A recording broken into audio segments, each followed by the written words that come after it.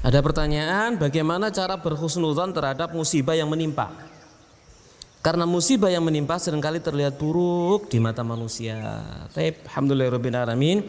Wassalatu wassalamu ala asrafil anbiya al mursalin nabiyina Muhammadin wa ala alihi washabihi ajmain. Nabi sallallahu alaihi wasallam bersabda, "Idza aradallahu bi 'abdin, idza aradallahu bi 'abdin khairan, atau kama qala Nabi sallallahu alaihi wasallam yusib minhu." Jika Allah berkehendak baik kepada diri seorang hamba, maka Allah akan berikan musibah kepada dia. Di mana musibah itu, para pemirsa budiman rahimani wa rahimakumullah taala, tidak mesti adalah sebuah keburukan bagi seorang hamba. Bagi seorang mukmin, satu musibah itu bisa jadi itu adalah penambah pahala di sisi Allah, bisa jadi itu peninggi derajat di sisi Allah, bisa jadi itu penghapus dosa ya yang pernah dikerjakan. Maka bagi seorang mukmin musibah itu adalah kebaikan bagi dirinya. Karena Allah Subhanahu wa taala ingin memberikan kepada dia pahala sabar. Yang Allah Subhanahu wa taala berfirman dalam Al-Qur'an, "Innama yuwaffas sabiruna ajrahum bighairi hisab." Sesungguhnya Allah itu hanya akan menyempurnakan pahalanya orang-orang yang bersabar itu tanpa ada hisapnya. Allah ingin memberikan pahala yang sebesar-besarnya kepada seorang mukmin. Seorang mukmin yang beriman kepada Allah, yang bersabar dengan musibah yang Allah Subhanahu wa taala timpakan. Dan kita harus ingat para pemirsa yang budiman rahimani wa rahimakumullah taala selagi seseorang itu dia telah mengeklaim dirinya termasuk bagian dari rombongan orang-orang yang beriman, maka ingat pasti dia akan diberikan ujian oleh Allah Subhanahu wa taala. Tidak bisa tidak dan tidak mungkin tidak, mesti diberikan ujian oleh Allah Subhanahu wa taala.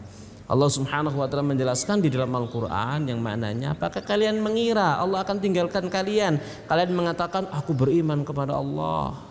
Ya, aku beriman kepada Rasulullah, aku beriman kepada Al-Qur'an, kemudian tidak datang kepada kalian ujian-ujian yang menimpa orang-orang yang sebelum kalian, maka itu dinafikan oleh Allah Subhanahu wa taala tidak mungkin karena negeri ini adalah negeri ujian yang Allah Subhanahu wa taala berfirman juga dalam Al-Qur'an liyabluwakum ayyukum ahsanu amala. Allah ingin menguji kalian mana di antara kalian yang terbaik amalnya, kata Allah Subhanahu wa taala. Ini jadi memang untuk bala, untuk ujian.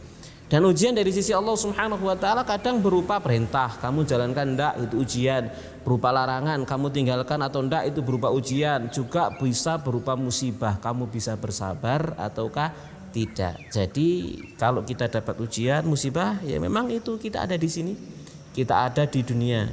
Dan musibah ujian yang terbesar nanti ya yaitu tatkala kita semua wafat ya di sanalah ya itu selesainya ujian dari segala ujian ya dari segala ujian yang Allah Subhanahu wa taala berikan. Jadi itu cara kita mengembalikan ya membaca ya bagaimana musibah yang sedang kita alami, yang sedang kita tim atau yang sedang menimpa kita dan ingat kita tidak sendirian. Kita tidak sendirian. Orang-orang yang terbaik sebelum kita semuanya dapat ujian diuji oleh Allah Subhanahu wa taala, dapat musibah. Orang terbaik. Ya bahkan Nabi sendiri Shallallahu alaihi wasallam dapat ujian, mendapatkan musibah. Bahkan Nabi Shallallahu alaihi wasallam menjelaskan ya asyadun nasi balaan. Manusia yang paling berat ujiannya musibahnya adalah anbiya para nabi. Bal amsal dan yang semisal dengan para nabi. Manusia itu kata Nabi Shallallahu Alaihi Wasallam diuji biqadri dinihim. Ya sesuai dengan kadar agamanya. Kalau agamanya itu kuat, ujiannya semakin besar. Kalau agamanya agamanya itu lemah, maka disesuaikan dengan ujiannya. Jadi masing-masing di antara kita punya ujian.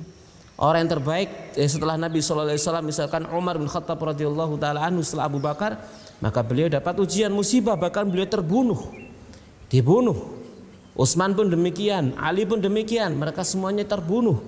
Dibunuh ya, itu adalah bagian dari ujian dan musibah yang menimpa. Namun ingat sekali lagi di awal ujian musibah yang menimpa bagi orang mukmin adalah kebaikan untuk dia nanti di akhirat. Maka ini yang harus kita tanamkan ya. Maka marilah kita tersenyum, bertahmid tatkala mendapatkan ujian dan musibah saya mengatakan alhamdulillah ala kulli hal segala puji bagi Allah di atas segala keadaan lalu kita beristirja innalillahi wa inna ilaihi rajiun sungguhnya kita adalah milik Allah dan kita semua akan kembali kepada Allah dengan mengingat yang demikian maka fa insyaallah ujian itu musibah itu akan menjadi ringan di hadapan kita. Semoga Allah menghindarkan kita dari musibah-musibah yang kita tidak mampu untuk mengatasinya. Amin ya rabbal alamin. Wassallallahu Muhammadin wa ala alihi wa sahbihi ajma'in. Alhamdulillahi rabbil alamin.